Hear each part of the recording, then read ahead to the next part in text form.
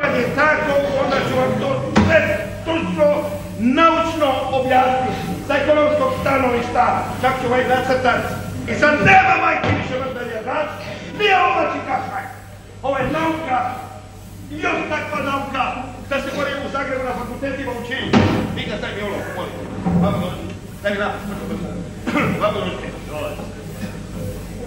Ako je u nekome poduzeću X faktor godišnjeg porasta proizvodnje, a Y faktor deficitarnosti, a Z koeficijent povišenja osobnih dohodaka, onda po Baumgartenovoj krivulji koja je izgleda i ovako, zeta mora ići progresivno gori jedino ukoliko faktor x obrnuto proporcionalno raste u odnosu na smanjivanje faktora x.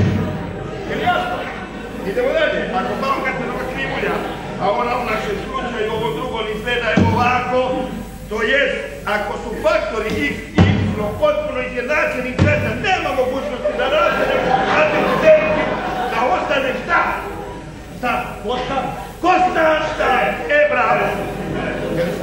A je, kako nije jasno. Drugim riječima povećanja plaće